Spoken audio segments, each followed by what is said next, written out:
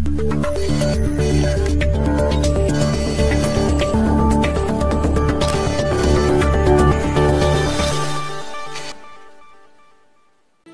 आप सभी को मेरा नाम चिराग है और आप देख रहे हैं न्यूज़ मीडिया 47 स्वागत है आप सभी का सुपरफास्ट 20 में जहाँ हम देश भर की तमाम 20 खबरों के ऊपर चर्चा करते हैं। तो आइए खबरों का ये कारवा शुरू किया जाए।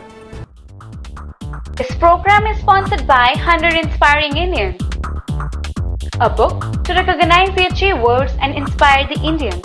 If you have done something remarkable in your life and think that your work can inspire millions, we are here to take the story to everyone. For that, nominate yourself at www.100ii.in.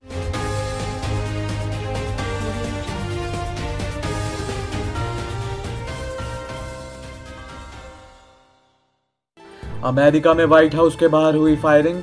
Donald Trump को छोड़नी पड़ी press briefing.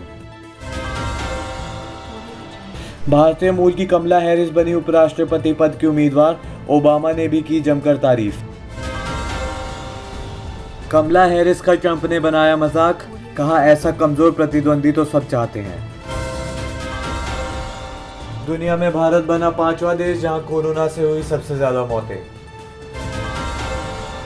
रूस ने किया corona vaccine बनाने का दावा। Corona की उल्टी गिनती शुरू।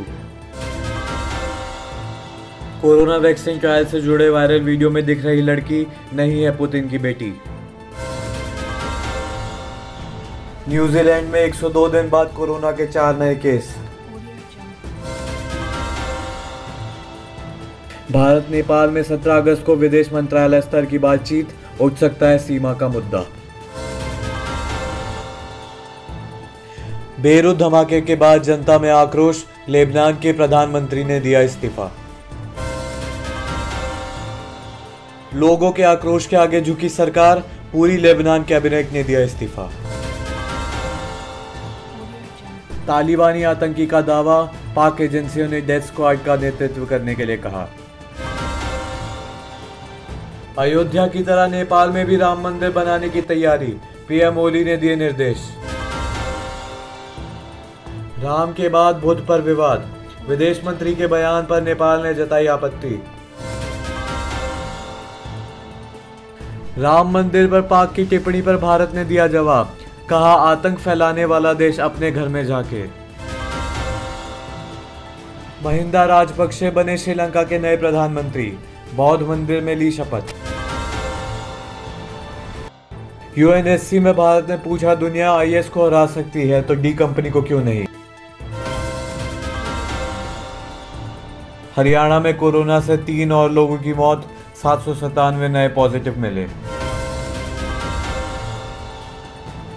सुशांत की डायरी के 11 पन्ने आए सामने, परिवार और करियर को लेकर लिखी थी कई बातें।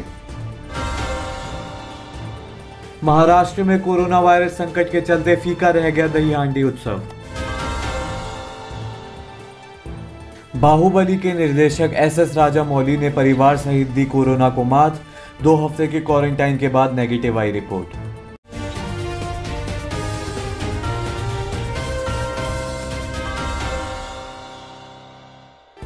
देश भर की तमाम खबरों के लिए देखते रहिए हमारा चैनल न्यूज़ मीडिया 47 हिंद की बात हिंदी में।